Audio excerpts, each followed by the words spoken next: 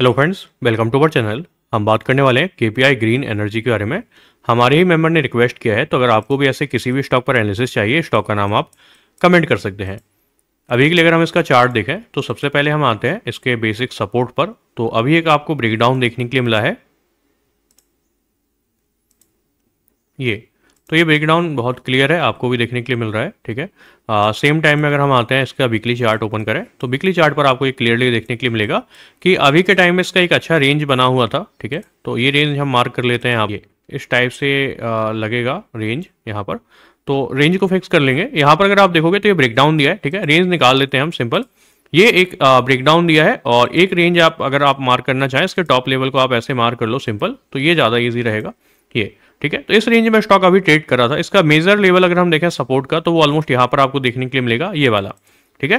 क्योंकि यहीं पर अगर आप देखोगे तो फ़र्स्ट टाइम में जो जितना भी रेजिस्टेंस लिया है, वो ऑलमोस्ट इसी रेंज पर है। देन सेकंड टाइम अगर आप देखोगे तो यहाँ पर पूरा सपोर्ट बना हुआ है लास्ट तीन से चार महीने का। देन ब्रेकआउट करने का ट्राई किया था ब्रेकआउट फेलियर अभी देखने के लिए मिला है और फिर से सेम लेवल पर सपोर्ट ले रहा है।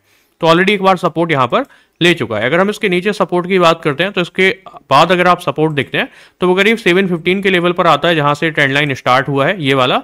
और सेम टाइम में यहाँ पर आपको एक्टिविटी भी देखने के लिए मिल रहा है। इसके बाद डायरेक्टली 500 का लेवल है, ये हम मार्क करते हैं। यहाँ पर, अब आते हैं हम डेली चार्ट पर। तो डेली चार्ट पर अगर आप अब देखोगे तो ये ज़्यादा अच्छे से आपको समझ में आएगा। अब इसमें बहुत सिंपल पॉइंट है, देखिए। यहाँ से सपोर्ट लिया है तो कोई कन्फर्मेशन नहीं है कि ब्रेकडाउन होगा या नहीं होगा। अगर ब्रेकडाउन नहीं होता है तो ये बहुत अच्छा बाइंग चार्ट पैटर्न बना रहा है अभी के लिए। तो यहाँ पर एक बुलिस साइड पर हम एक ट्रेड बना सकते हैं जो कि इस हाई के ऊपर बनेगा। ये हमारा स्टॉप लॉस होगा करीब छः परसेंट का आ रहा है निकल के और हम इस आ, जो लेवल है इसके टॉप तक जाएँगे तो करीब ट्वेंटी परसेंट का टारगेट निकल कर आता है ठीक है? तो इस टाइप के कंडीशन में होता क्या जैसे यहाँ पर इसने एक रेंज बनाया हुआ था इसका यहाँ पर इसने ब्रेकडाउन दिया लेकिन ब्रेकडाउन के बाद इमीडिएटली रिवर्सल दे दिया। एक बात याद रखिएगा, यहाँ पर क्या हो सकता है? ये इस लेवल तक जाए और फिर यहाँ से हो सकता है घूमकर नीचे आ जाए, ठीक है? तो जब ये ऊपर जाएगा, आप अपने स्टॉप लॉस को ट्रेल कर सकते हैं और देन कंटिन्यू कर सकते हैं। तो इनकेस अगर रिवर्स आता है तो आपका लॉसेस बहुत ज़्यादा नहीं होना चाहिए।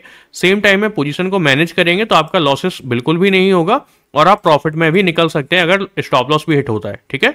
तो यहाँ से अगर यहाँ तक जाएगा तो करीब करीब वन इस टू वन से ज़्यादा का टारगेट ऑलरेडी कंप्लीट कर देगा। अब इसमें हम कंडीशन समझते हैं। या तो ये ब्रेकडाउन दिखाकर ब्रेकडाउन फेलियर दिखाकर बेसिकली और मतलब ब्रेकडाउन दिखाकर वहाँ से फिर रिवर्स कर जाए। और यहाँ से अगर ये रिवर्सल देता है तो उसके टॉप तक जाएगा तो 1120 का लेवल मिनिमम देखने के लिए मिलने वाला है। तो टारगेट बहुत बड़े हो सकते हैं।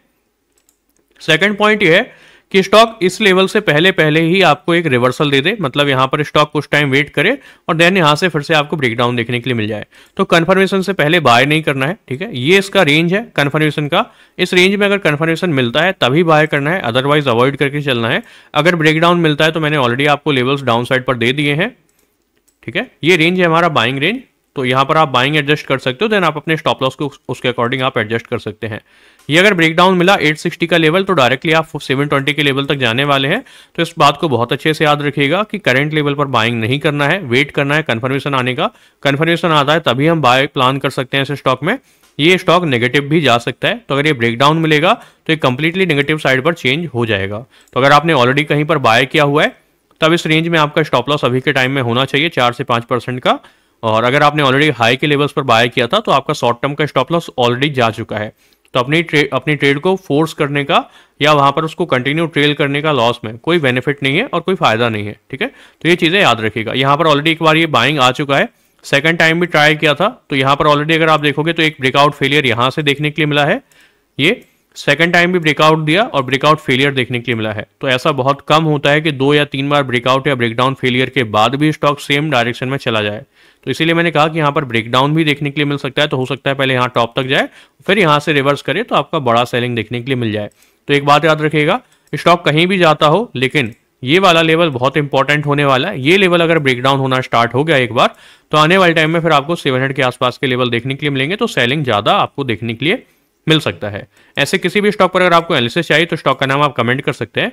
सपोर्ट डिस्टेंस के लेवल्स के लिए आप हमें टेलीग्राम चैनल पर मैसेज कर सकते हो, जिसका लिंक डिस्क्रिप्शन चैनल के अबाउट बॉक्स में दिया हुआ है। या कोई भी बाइंग सेलिंग रिकमेंडेशन नहीं है तो अगर आप कुछ भी रियल मनी के साथ प्लान करते हैं, अपनी एनालिसिस ज़रूर करें। वीडियो पसंद आता है, वीडियो को लाइक करना। चैनल को सब्सक्राइब करना मत भूलिएगा। Thank you so much